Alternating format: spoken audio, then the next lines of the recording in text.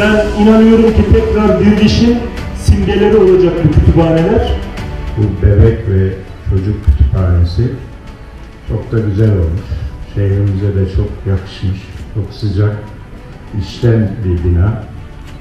Ben e, bu projeyi şehrimize, Erzincan'ımıza kazandıran, tekrar ihya eden değerli Ömer Saktaş kardeşime teşekkür ediyorum. Emeği geçenlere çok teşekkür ediyorum.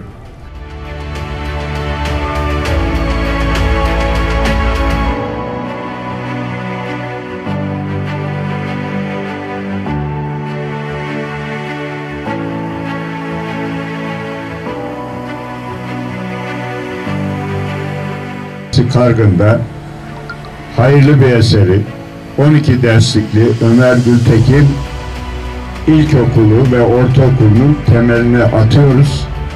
Rabbim açılışını da nasip etsin.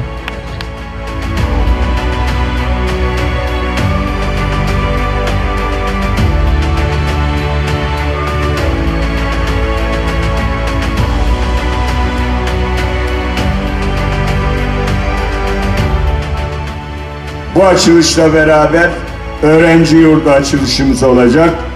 Öğretmen evi açılışımız olacak.